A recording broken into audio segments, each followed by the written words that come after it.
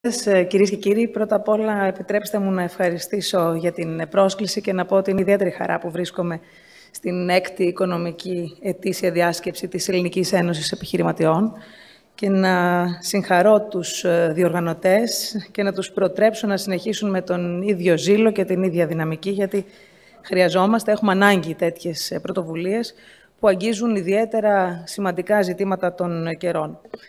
Ένα τέτοιο ζήτημα είναι και το δημογραφικό για την Ελλάδα και θα το δούμε και σε ό,τι αφορά την πατρίδα μας, αλλά και σε ό,τι αφορά την Ευρώπη. Διότι η συρρήκνωση του πληθυσμού είναι ένα πρόβλημα πολυδιάστατο, που προσλαμβάνει ανησυχητικές ε, διαστάσεις σε ολόκληρη την γυραιά Ήπειρο. Με σοβαρό αντίκτυπο σε κρίσιμους τομείς της οικονομικής και της κοινωνικής ζωής. Η αύξηση του προσδόκιμου ζωής σε συνδυασμό με την αύξηση της υπογεννητικότητας, συνθέτουν πλέον ένα εκρηκτικό μείγμα μετάβασης σε έναν γυρεότερο πληθυσμό. Η Ευρώπη γερνάει. Στην πράξη αυτό σημαίνει ότι οι άνθρωποι άνω των 65 ετών αυξάνουν δραματικά σε σχέση με τα άτομα που βρίσκονται ή πρόκειται να βρεθούν σε ηλικία εργασίας. Είναι ευνόητο ότι η δημογραφική αυτή τάση συνεπάγεται σοβαρά προβλήματα στην οικονομία, στο παραγωγικό δυναμικό, στην ανάπτυξη, το ασφαλιστικό σύστημα και φυσικά στην κοινωνική συνοχή. Για τη χώρα μας, το δημογραφικό πρόβλημα σίγουρα δεν είναι καινούριο φαινόμενο. Μετά την δεκαετή δημοσιονομική κρίση όμως, αναδεικνύεται ίσως στο σοβαρότερο. Στο συμπέρασμα αυτό οδηγεί και το πόρισμα της Διακομματικής Επιτροπής για το Δημογραφικό, που συζητήθηκε στις αρχές του έτους στην Ολομέλεια της Βουλής των Ελλήνων. Σύμφωνα λοιπόν με τα στοιχεία που προέκυψαν, οι ελληνικές οικογένειες γίνονται μικρότερες, οι μονογονεϊκές οικογένειες αυξάνονται, ενώ σήμερα η χώρα μας έχει έναν από τους χαμηλότερους δείκτες γονιμότητας σε ολόκληρη την Ευρωπαϊκή Ένωση. Αρκεί να αναφέρουμε ότι κάθε ζευγάρι Ελλήνων αποκτά κατά μέσο όρο μόλις 1,3 παιδιά, έναντι 1,6 που είναι ο ευρωπαϊκός μέσος όρος. Τη στιγμή που για να μην μειώνεται ο πληθυσμός, ο μέσος όρος παιδιών που πρέπει να αποκτά ένα ζευγάρι ανέρχεται στο 2,1.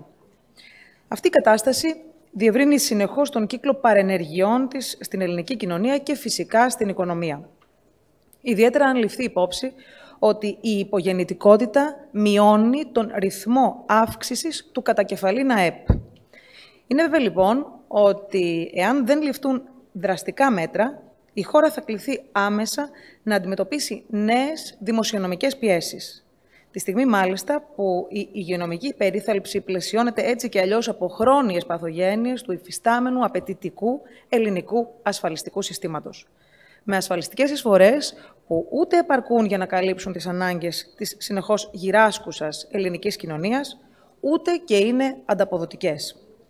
Σε αυτή την δυσίωνη πραγματικότητα, η οικονομική κρίση, η αναξιοπιστία του κράτους, η κρίση θεσμών και αξιών που βίωσε η χώρα, δημιούργησαν ακόμα μία ανοιχτή πληγή. Την φυγή, όπως υπολογίζεται, 400-450 Ελλήνων, πολλοί εκ των οποίων είναι υψηλού μορφωτικού επίπεδου, που αναζήτησαν την κοινωνική, οικονομική και επιστημονική τους πρόοδο έξω από την πατρίδα. Με κυριότερο λόγο μετακίνησης στο εξωτερικό, και επιτρέψτε μου να το τονίσω αυτό, προκύπτει από όλες τις έρευνες που έχουν γίνει, την έλλειψη αξιοκρατίας και την διαφθορά. Ακολουθούν στη σειρά η οικονομική κρίση και η αβεβαιότητα, οι προοπτικές εξέλιξεις, οι εργασιακές συνθήκες, οι υψηλότερες αποδοχές και η αδυναμία έβρεσης εργασίας στον τομέα κλάδο των σπουδών τους. Στην πραγματικότητα, αυτό σημαίνει ότι το ελληνικό κράτος επενδύει επί σειρά ετών σε ανθρώπινο κεφάλαιο, το οποίο δυστυχώς στην πορεία τρέπεται σε φυγή ελλείψη ευκαιριών. Η Ελλάδα λοιπόν χάνει το ανθρώπινο δυναμικό της, το οποίο απορροφάται στο εξωτερικό. Με την πλειοψηφία του να εργάζεται κυρίως στον τεχνολογικό τομέα, τον κατασκευαστικό κλάδο και την ενέργεια. Στα οικονομικά και χρηματοοικονομικά, στην εκπαίδευση και τις υπηρεσίες υγείας. Σήμερα λοιπόν που οι δημογραφικές εξελίξεις οδηγούν στις σοκαριστικές προβλέψεις ότι το 2050 θα είμαστε περίπου 2 εκατομμύρια λιγότεροι, με το 1 τρίτο του πληθυσμού να προβλέπεται πως θα είναι άνω των 65 ετών, η Ελλάδα, αιμορραγεί από την απουσία ικανού και εξειδικευμένου εργατικού δυναμικού, την αδυναμία εφαρμογής καινοτομιών, την μείωση των επενδύσεων στην εγχώρια οικονομία, καθώς δεν υπάρχει κατάλληλο εργατικό δυναμικό για να εφαρμόσει την απαιτούμενη γνώση και τεχνολογία. Κυρίες και κύριοι, γνωρίζουμε όλοι ότι το δημογραφικό πρόβλημα της Ελλάδας συνδέεται με τους χαμηλούς ρυθμούς ανάπτυξης τόσο μεσοπρόθεσμα όσο και μακροπρόθεσμα. Η ανάσχεση της διαρροής επιστημόνων, η στήριξη της ελληνικής οικογένειας και της μητρότητας είναι οι βασικοί άξονες πάνω στους οποίους θα πρέπει να συγκροτηθεί μια ολοκληρωμένη πολιτική αντιμετώπισης του φαινομένου. Μια πολιτική στοχευμένη που θα διατρέχει όλο το φάσμα της οικονομικής και κοινωνικής ζωής. Με βαθιές, φιλελεύθερες, δίκαιες μεταρρυθμιστικές τομές, που θα δημιουργήσουν δημοσιονομικό χώρο με σκοπό την επαναφορά του κοινωνικού ρόλου του κράτους. Και η πολιτική συγκυρία είναι η πλέον κατάλληλη. Η χώρα αφήνει πίσω της την δεκαετή κρίση, την ίδια στιγμή που βιώνει μια μεγάλη πολιτική αλλαγή. Μια αλλαγή που σε λίγους μήνες κατόρθωσε να δώσει ένα ισχυρό, αισιόδοξο μήνυμα. Με γρήγορες και κέρυες νομοθετικές παρεμβάσεις, η Ελλάδα προχωράει σε μια νέα εποχή, όπου το κράτος στηρίζει και δεν εχθρεύεται το επιχειρήν, την έρευνα και την κοινοτομία μέσα από ένα δικαιότερο και ευέλικτο θεσμικό πλαίσιο διαφάνειας και αξιοκρατίας, προωθείται η μείωση της γραφειοκρατίας, η ψηφιακή σύγκληση, η συνεργασία ιδιωτικού και δημοσίου τομέα. Αναφέρομαι στο νόμο περί επιτελικού κράτους και στο νέο αναπτυξιακό νόμο. Με πολιτικές φορολαφρύνσεων και μείωσης ασφαλιστικών εισφορών που ήδη υλοποιούνται, το ελληνικό οικοκυριό και η επιχειρηματική δραστηριότητα σταδιακά αποσυμπιέζονται. Για την μέση ελληνική οικογένεια, έχουν ήδη υιοθετηθεί μέτρα οικονομικής ενίσχυσης για κάθε γέννηση, ενώ υπήρξε άμεση μέρημνα για μεγαλύτερη αναρμόνιση οικογενειακής και επαγγελματικής ζωής. 27.000 περισσότερα παιδιά σε σχέση με το προηγούμενο έτος θα έχουν πρόσβαση φέτος σε εκπαιδευτήρια προσχολικής ηλικίας. Αυτά είναι τα πρώτα δείγματα από ένα μείγμα πολιτικών που είτε έμεσα είτε άμεσα δίνουν κίνητρα ενίσχυσης της γονιμότητας. Υπάρχει όμως ακόμα αρκετός δρόμος κυρίως σε επίπεδο παροχής εμέσων κινήτρων για την προστασία της οικογένειας, τη μείωση του βάρους απόκτησης παιδιού, τη στήριξη των εργαζομένων γονέων και κυρίως τη στήριξη των γυναικών, ο ρόλος των οποίων γίνεται πιο πολύπλοκος, πιο δύσκολος, πιο απαιτητικός. Με την δεκαετή κρίση να έχει υπονομεύσει ακόμα περισσότερο τη θέση της γυναίκας και τα δικαιώματά της απέναντι στις ίσες ευκαιρίες για απασχόληση, αμοιβή και ασφάλιση να υπονομεύει ακόμα και το ρόλο της ως μητέρα. Κυρίες και κύριοι, η ανάγκη ενός σύγχρονου ασφαλιστικού συστήματος, η διεύρυνση της αγοράς εργασίας, η ισότιμη πρόσβαση σε αυτό με καλύτερες αμοιβές και βέβαια η ανάσχεση του brain drain αποτελούν μια μεγάλη εθνική πρόκληση που απαιτεί σύνθεση πολιτικών που θα επαναφέρουν αξίες όπως είναι η αριστεία, η διαφάνεια και η αξιοκρατία. Θα συνδεθούν με την τριτοβάθμια εκπαίδευση και την παραγωγή και θα προωθούν συμπράξεις του ιδιωτικού και του δημοσίου τομέα για την εισρωή ερευνητικών κεφαλαίων και την χρηματοδότηση επιστημόνων που επιθυμούν να επιστρέψουν τη χώρα. Για την ενίσχυση δράσεων στήριξης της νεοφυούς επιχειρηματικότητας, ανάπτυξης ψηφιακών υποδομών και προσέλκυσης ανάλογων επενδύσεων.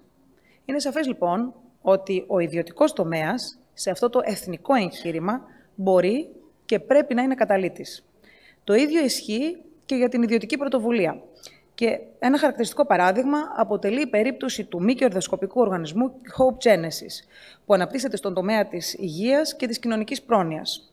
Αφορά στην υποστήριξη των γυναικών που ζουν σε απομακρυσμένες περιοχές και έχουν περιορισμένη πρόσβαση σε ιατρικές υποδομές.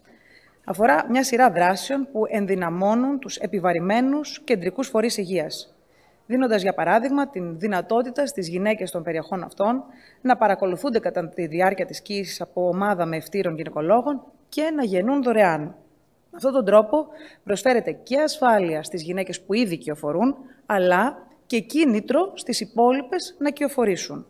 Είναι αξιοσημείωτο από την πρωτοβουλία αυτή μέχρι σήμερα έχουν ωφεληθεί περισσότερες από 200 οικογένειες σε περιοχές που για περισσότερα από 3 με 5 χρόνια υπήρχαν ελάχιστες ή μηδενικές γεννήσεις ή μεγάλο αρνητικό ισοζύγιο γεννήσεων θανάτων. Ένα έργο που χρηματοδοτείται από μεγάλες ελληνικές εταιρείες, κοινοφελή ιδρύματα και από την τοπική αυτοδιοίκηση, ενώ παράλληλα υποστηρίζεται από μεγάλο αριθμό εθελοντών. Και επισφραγίζει την άποψη ότι η ιδιωτική πρωτοβουλία μπορεί και πρέπει να έχει κοινωνικό πρόσωπο, συμβάλλοντας θετικά στα μεγάλα προβλήματα του τόπου.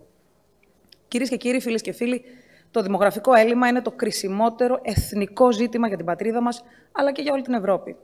Κάθε πολιτική και διοικητική απόφαση, κάθε νομοθετική παρέμβαση θα πρέπει στο εφ' να προσεγγίζονται και να ελέγχονται για τις επιπτώσεις τους στο δημογραφικό πρόβλημα.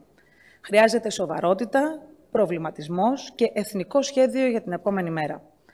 Ο δραστικός περιορισμός του δημογραφικού προβλήματος είναι άρρηκτα συνδεδεμένος με την ανάκτηση της εμπιστοσύνης των Ελλήνων στην πατρίδα τους. Η συγκυρία είναι κατάλληλη.